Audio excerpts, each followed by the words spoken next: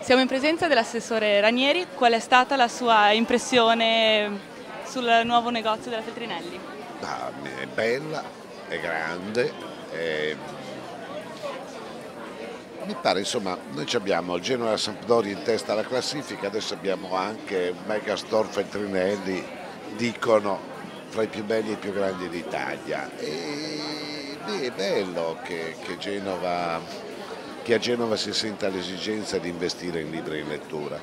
Del resto Genova è una città che legge, è una città in cui il consumo culturale è alto e non a caso la Feltrinelli fa qua un investimento che non ha fatto in nessun'altra grande città d'Italia.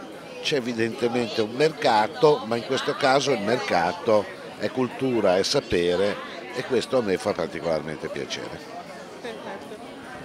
Sì, la mia impressione è bellissima, eh, anche perché ho ancora in mente come era organizzato questo spazio prima.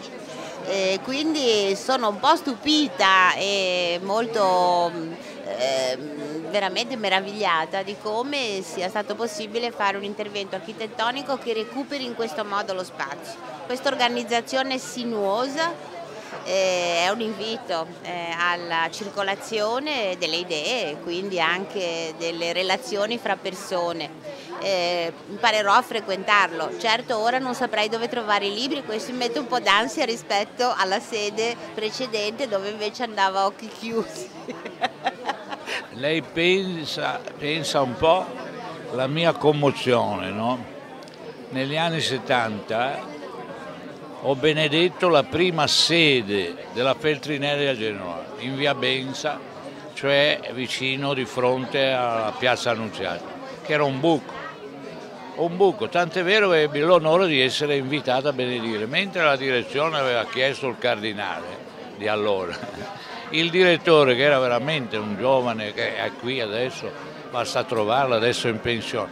Vieni tu, vieni. Ecco, quindi io come avevo lanciato questa e ai miei ragazzi delle comunità continuava a dire se voi leggete io vado a rubare i libri. Era una frase che, tanto è vero che quando entravano a Feltrinelli gridavano attenti ai commessi, guardi Don Gallo ruba i libri. Ora qui avrò più spazio, cioè poi me le regalavano per i ragazzi, cioè la cultura. Secondo me è un segno, qui c'è il sindaco, altri, è un segno che la città non è vero che sta morendo, anche se siamo, continuano a dire che siamo vecchi, no? Io ho 81 anni, e che non è vero, sono i vecchi, i vecchi anzi hanno la possibilità di lanciare i giovani, cioè come un testimonio. Secondo me è un segno della rinascita della città, è un appello a tutte le donne e gli uomini di buona volontà che questa città veramente ha un ruolo molto importante, sia col porto militare e culturale. Mi sembra un, una cosa molto importante, soprattutto anche per Genova, un grande getto di di generosità e di sensibilità sociale per Genova che mi, pare, mi sembra veramente straordinario in questo momento no? in cui tutto il mondo cerca di evitare, di fare investimento politico o culturale, è fantastico.